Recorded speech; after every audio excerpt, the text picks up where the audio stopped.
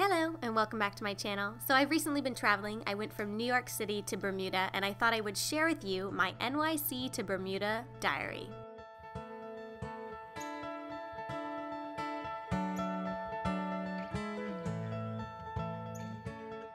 Since this trip was pretty work heavy for me and Byron, we decided that Oliver would stay with his cousins and my mom and sister in law. So he had a lot of fun, but we definitely missed him and looked at lots of pictures and FaceTimed. But Byron and I had a lot of fun traveling together. First stop was in New York City. I was hosting the Truvia Baking Star event, and Byron was one of the judges. So they invited some contestants that entered, and we had a chance to be a part of a media event. They served those little tartlets right there. Those were Byron's strawberry tartlets.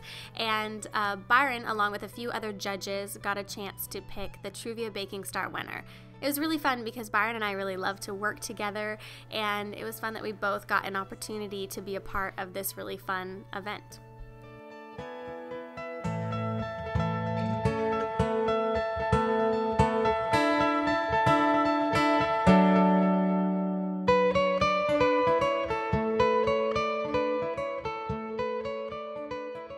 The other judges were also food YouTubers and bloggers, so it was really fun for us to meet new people and get inspired by other creators. A few contestants showed the recipes, the judges deliberated, and then we chose the winner for the Truvia Baking Star event. And it was just a really exciting moment for her and for us, and we had a lot of fun. The next day, we were off to Bermuda. Byron was invited to Bermuda to meet a few of the chefs there and just kind of understand the agriculture in Bermuda. And we were just ecstatic to go and find out about a new place, feeling a little nervous and unsure, but definitely very exciting. All right, here we are. Rosewood Tucker's Point. Look at that bathtub. It's amazing. Love it. So this is the bathroom.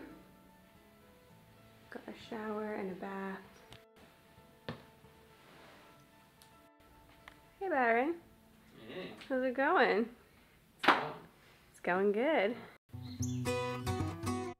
From the second we landed, we knew this was going to be an unforgettable experience, but we had a lot that we were going to do. The first day, we went to go see uh, one of the main farmers on the land. His name was Tom Wadson, and he taught us a lot about the agriculture on the island and also um, how he farms in a sustainable manner.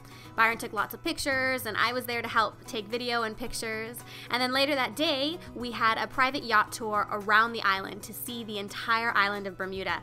It was really amazing, and chef Samantha Crew made us a private meal. It was three courses with dessert. It was unbelievable. She has traveled all over the world as a private chef, and so meeting and talking with her was really amazing and exciting. And I always just get super excited to meet new people from all over the world and hear their stories.